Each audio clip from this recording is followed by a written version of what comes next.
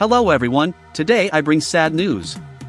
The actor Lance Reddick, known for his performances in The Wire and the John Wick franchise, passed away suddenly on Friday at the age of 60. His wife, Stephanie Reddick, wrote in an Instagram post, thanking for the love, support, and beautiful stories shared in recent days.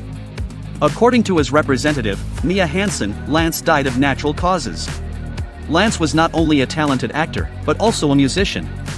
He was remembered by his colleagues as a kind soul and a true friend. Actress Viola Davis paid tribute to Lance in an Instagram post, writing that he was a talented, kind, and intelligent king, and that she was blessed to have worked with and known him. Lance was also the voice of Commander Zavala in the Destiny game series and was loved by the game's player community.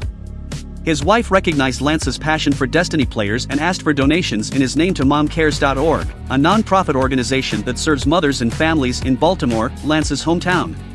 It is a difficult time for Lance's family and friends, and our solidarity is with them at this time. Rest in peace, Lance Reddick. You left a mark in the entertainment industry and in our hearts. Lance Reddick not only had a successful career in film and television, but also was an advocate for social justice.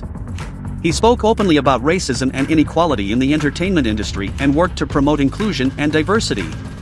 His death was a loss for the artistic community and for all those who knew him and were touched by his work and his kind and loving personality. But his legacy will continue to live on through his films, series, and music.